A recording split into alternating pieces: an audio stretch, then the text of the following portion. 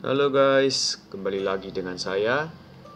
Di video kali ini saya akan memberikan tutorial cara untuk mengubah audio file menjadi teks ya guys. Seperti yang kita ketahui, terkadang kita membutuhkan transkripsi dari rekaman audio yang kita miliki. Misalnya untuk keperluan pembuatan subtitle, riset atau dokumentasi. Nah, tanpa basa-basi lagi, mari kita mulai.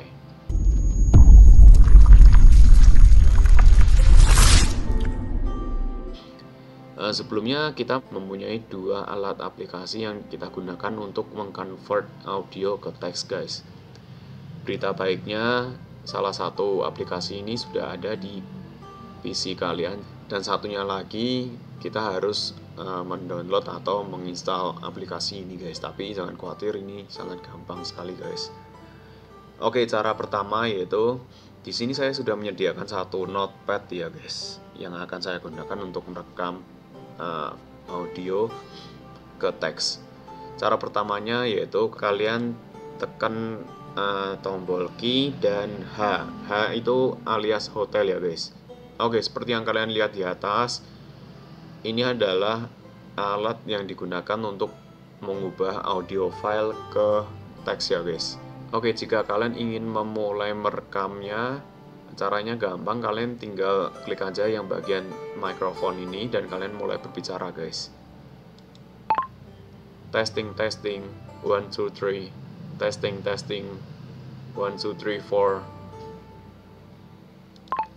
jika kalian ingin mengakhiri merekam audio kalian tinggal pencet lagi uh, mikrofonnya guys yang di atas ini. Ini adalah cara yang kalian bisa gunakan untuk merekam audio suara kalian ke teks ya guys. Uh, ada lagi cara kedua dengan mendownload dan menginstal satu aplikasi guys. Caranya gampang. Di sini kita hapus dulu. Kita matiin dulu yang ini. Lalu kita pergi ke Google guys Oke, di sini kalian bisa menemukan aplikasi yang bernama dengan vb.audio.com. Kalian masuk ke website ini ya guys ya. Di sini kalian bisa mendownload software yang kalian bisa gunakan untuk mengconvert audio file ke teks punya. Kalian tinggal masuk aja ke audio apps ini Lalu di sini ada dua pilihan guys. Jika kalian menggunakan Microsoft, maka kalian pilih yang atas. Kalau yang iOS, kalian bisa pilih yang bagian bawah ya guys. Karena di sini saya pakai Windows punya, maka saya download yang Windows. Oke, di sini udah terdownload. Uh, setelah seperti ini, langkah selanjutnya yaitu kalian tinggal ekstrak Oke setelah seperti ini kalian masuk dan kalian pilih yang bagian ini ya guys ya. Yang setup punya. Kalian klik di sini klik kanan. Lalu kalian run as administrator ini. Kalian masuk yes. Oke setelah seperti ini kalian tinggal install driver aja guys. Kalian tinggal install driver. Uh, ini langsung sudah ya guys. Cepat sekali ya. Ini udah selesai.